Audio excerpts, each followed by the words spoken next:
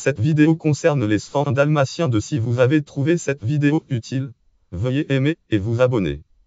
Les 100 dalmatiens de Sur la trace des zéros, ou les 100 dalmatiens de l'aventure londonienne de Patch au Québec 100 dalmatiens e Patch London Adventure est le 78e liste des longs métrages d'animation produits par les studios Disney longs métrages d'animation des Walt Disney Pictures Studios Disney. Sorti directement en vidéo en 2003, il est la suite des Les 100 dalmatiens film 1961 100 dalmatiens 1961. Synopsis Patch souhaite se démarquer des autres chiots dalmatiens et rêve aux aventures de son héros le chien ouragan. Accidentellement séparé du reste de sa famille lors d'un camion de déménagement vers la campagne Angleterre anglaise, Patch en profite pour rencontrer son idole Cruella d'Enfé quand elle a découvert les peintures tachetées d'un nouvel artiste excentrique.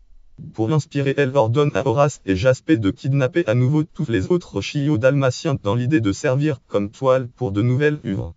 Patch et Ouragan vont devoir trouver un moyen de les sauver et de prouver à tout le monde qu'ils ne sont pas que de simples héros de la télévision. Fiche technique, titre original 100 dalmatiens e-patch London Adventure, titre français Les 100 dalmatiens de Sur la trace des zéros, titre québécois Les 100 dalmatiens de l'aventure londonienne de Patch, réalisation de Jim Cameron et Brian Smith, scénario Garrett, shift d'après une nouvelle de Dodie Smith, musique Richard Gibb, production Caroline Bat Leslie Wood, société de production Walt Disney Pictures Disney Television Animation Walt Disney Télévision Animation Société de distribution Walt Disney Studio Entertainment Buena Vista Homme Entertainment Langue Anglais Format couleur 35 Format d'image 1.66 1 Durée 73 minutes Date de sortie France Date 6 novembre 2002 Au cinéma États-Unis Date 21 juin